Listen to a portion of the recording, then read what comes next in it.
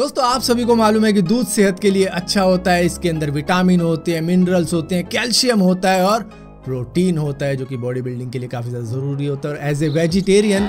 मेरे लिए तो कुछ ही सोर्सेज हैं प्रोटीन के तो उसमें से दूध भी एक है तो उसको छोड़ा नहीं जा सकता लेकिन अगर आप तरुण चिल को फॉलो करते हो तो आपको मालूम है उनके लिए तो भैया दूध सिर्फ बेबीज के लिए होता है बॉडी बिल्डर्स के लिए होता ही नहीं है लेकिन साइंटिस्ट का मानना ये है कि कुछ स्पेसिफिक जो कॉकरोचेस होते हैं उनके अंदर जो मिल्क प्रोड्यूस होता है वो मिल्क काओ मिल्क से तीन गुना ज़्यादा न्यूट्रिशियस होता है ताकतवर होता है लेकिन कितना निकलता होगा एक कॉकरोच से